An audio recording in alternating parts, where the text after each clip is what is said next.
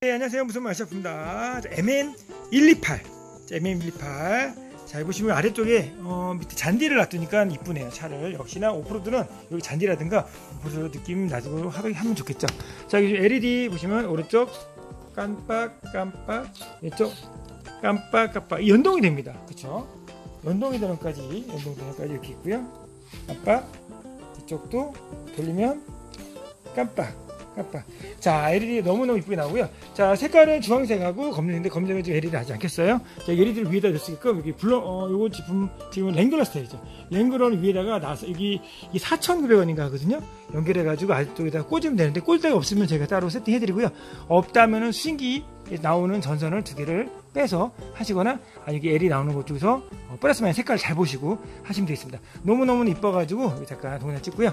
우리 최근에 또 우리 께서 구매하셨는데 이거 LED 어떻게 할까요? 라고 하다가 에 대해서 영상을 잠깐 찍었습니다. 쉽습니다. 5파이짜리 5파이짜리 내에 연결하면 되고요. 전선 정리해가지고 안쪽에 넣으면 되겠습니다. 구멍을 뽕 뚫거나 바디에 대해서 안쪽으로 집어넣거나 하면 되겠고요.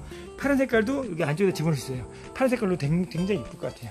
자, MM128, MM128. 자, 오케이. 많이 해주세요. 감사합니다. MM128. 예스.